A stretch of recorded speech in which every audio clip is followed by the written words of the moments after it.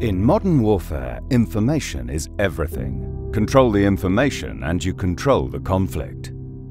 This is electronic defense at TNO in the Netherlands, and it's their mission to understand, control and manipulate information from the electromagnetic spectrum. Infrared, visual, radio, radar, magnetic. Turning this valuable knowledge into tangible innovations, they provide a wide range of clients with safer and more secure operations, as well as a dominant information position. Here are a few key examples. The research facility Clavis advances the protection of naval platforms such as ships and submarines from the threat of sea mines. A clear objective that requires a delicate mathematic balancing act.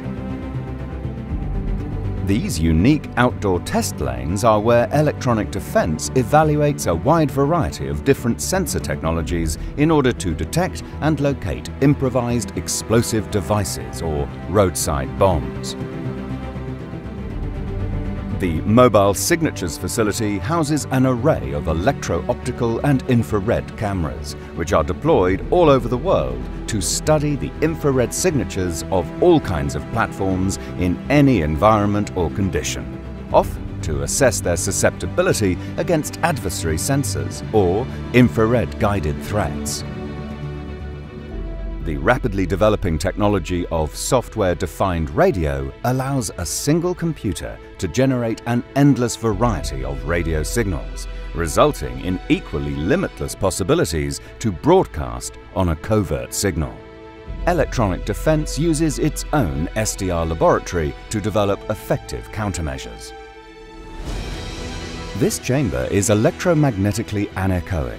Its walls will neither reflect electromagnetic signals nor allow them to pass through.